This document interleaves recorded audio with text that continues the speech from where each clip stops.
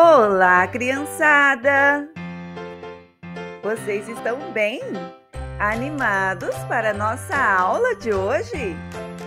Vamos estudar? Sejam todos bem-vindos! Antes de iniciarmos, vamos orar? Chegou o momento de fazermos a nossa oração do dia.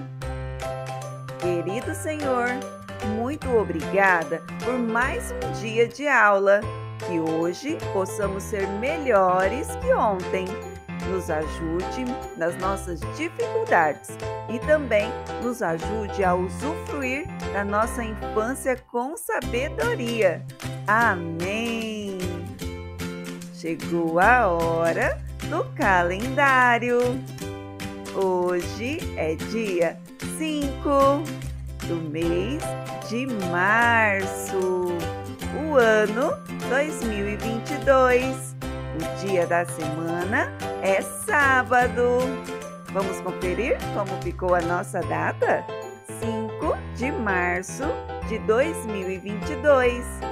Agora, muita atenção, porque eu tenho uma mensagem para o seu coração. Lembre-se sempre plantar coisas boas para que você tenha uma colheita maravilhosa.